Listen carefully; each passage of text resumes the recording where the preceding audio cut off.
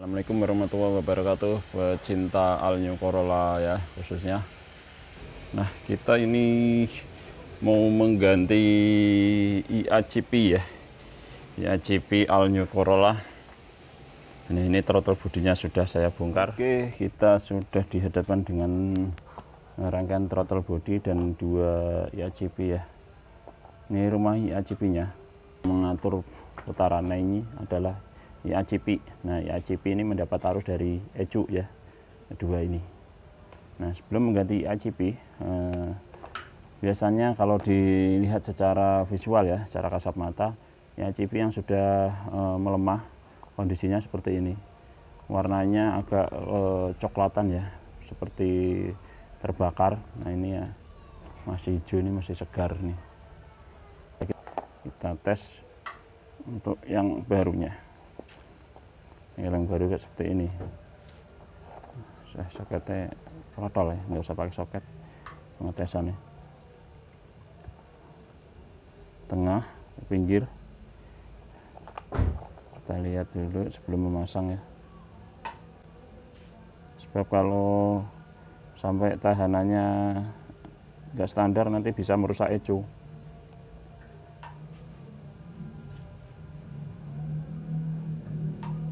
Oke, masuk ya. Ini kondisi dingin. 17 sampai 24. Ini 21. Oke.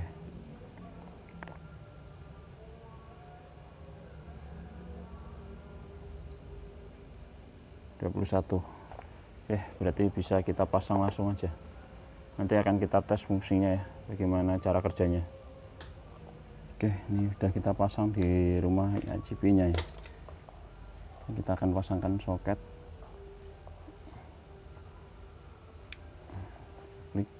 nanti kan dites pakai aki ya. Dia main enggaknya ya. Buka nutupnya. Untuk plus yang tengah. Plusnya yang tengah. Ini warna warna ini eh, jangan menjadi patokan ya karena ini buat tester aja saya.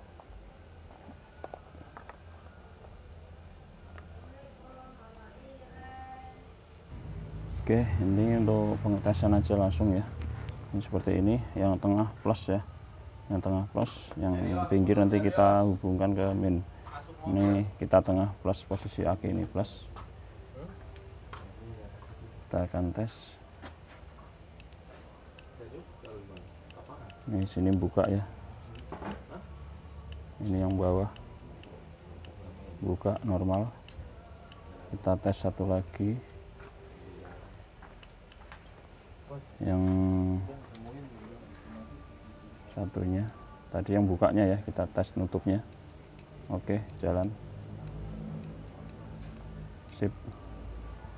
Untuk penyetelan di sini juga masih bisa disetel dari buat obengnya ya. Bentar.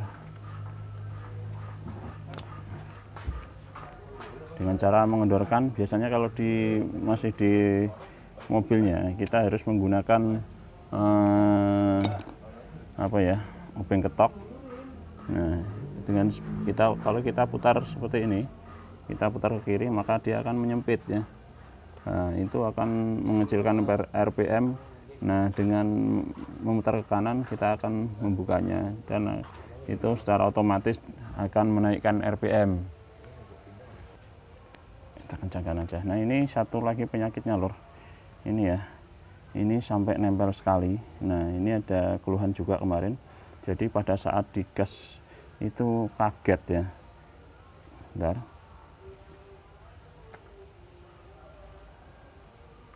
Tuh ngunci. Ngunci ya. Jadi ini terlalu nempel dengan ini. Nah ini mungkin untuk mengakali ya. Karena RPM nya itu mengaung terus atau tinggi terus jadi setelan ini dihabiskan. Sampai ini tidak menyentuh uh, snap ini ya, ganjelnya tuh nggak menyentuh ya. Saya kita lihat nah ini mengakibatkan ya butterfly-nya itu terkunci di housingnya nah ini caranya kita akan uh, tahan. Sebenarnya tahanannya ini loh bukan di housingnya kita bisa ini kalau macet menggunakan kunci L di sini ada kunci L kecil. Kita naikkan dikit supaya tahanannya di sini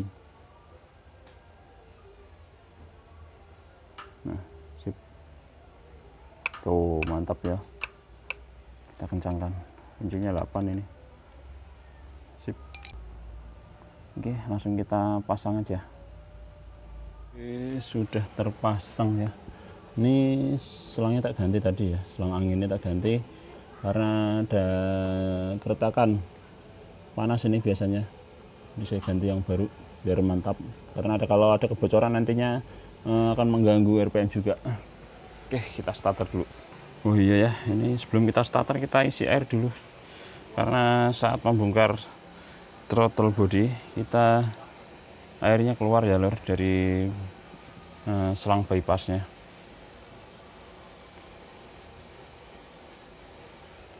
Radiatornya kita tutup dulu ya. Kita setar ini akhirnya rada lemot ini. Alhamdulillah oke ini hasilnya.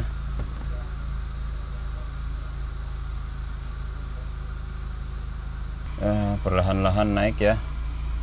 Untuk RPM nya kita gas. Nah ini bagus.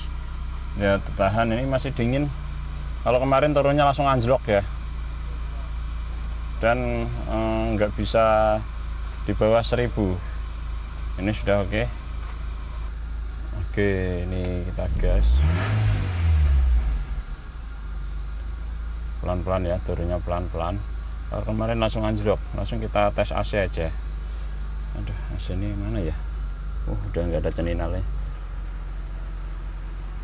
di AC masih kurang setelannya. Kita akan setel dulu untuk setelan AC nya ini kayaknya. Kita matikan AC. Matikan AC ini. AC tetap setak segitu ya jadi kurang tinggi untuk AC nya. Kita naikkan dikit aja. Ini setel AC dulu menggunakan kunci L.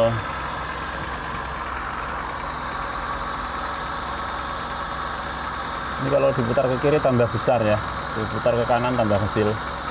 Kita putar ke kiri karena waduh ini lem-leman udah lor udah lem-leman semua ya biasanya masalah kalau sudah dilem-lem seperti ini. Oh iya bener udah terkunci udah nggak bisa setel. Ya sayangnya ya.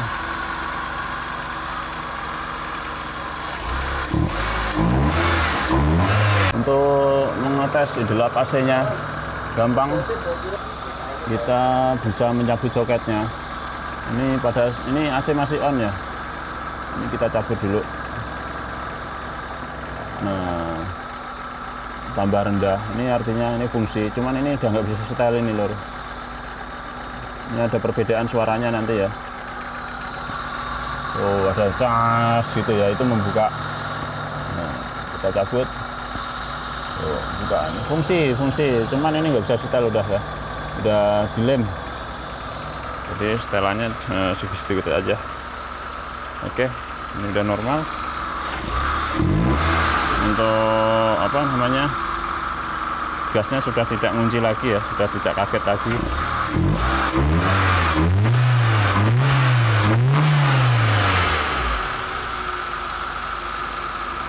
Oke.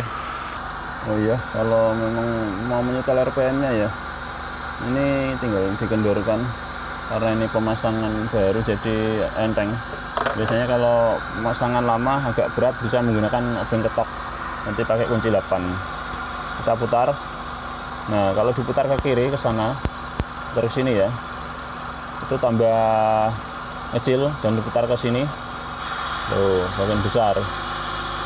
Ya. Putar kiri tambah kecil. Putar kanan tambah besar. Nah, tergantung nanti kita bisa apa ya mendapatkan RPM yang diinginkan oke. Setel aja ya. Ini memang dianjurkan setelan itu pada saat kita menyetel. Jadi suhu mesin sudah panas atau fan radiator sudah nyala ya. Kita lihat. Berapa om? RPM nya 800 900 900 oh ya 900 AC ini AC ya, ya oh, AC non AC non AC setak segitu ya? Oh iya ini karena tadi ya untuk handle upnya itu sudah dilem jadi tidak bisa kita lakukan penyetelan. Harusnya kita bisa naikkan dikit untuk uh, setelan AC nya RPM nya ya. Oke mungkin itu aja lor uh, video ya pemasangan dari uh, tadi kita dari awal ya dari pembongkaran pengetesan uh, bahkan untuk mengukur tegangan di ya ICV yang lama dan yang baru berapa toleransinya sudah kita bahas tadi. Terus ada trouble di butterfly nya juga sudah kita bahas dan sekarang sudah finish ya. Terima kasih sudah menonton videonya. Mohon maaf kalau ada kesalahan. Kalau ada yang salah mohon dibetulkan. Boleh ditulis di komentar. Karena itu akan sangat menjadi ilmu sangat uh, berarti buat saya pribadi. Terima kasih. Wassalamualaikum warahmatullahi wabarakatuh. Salam otomotif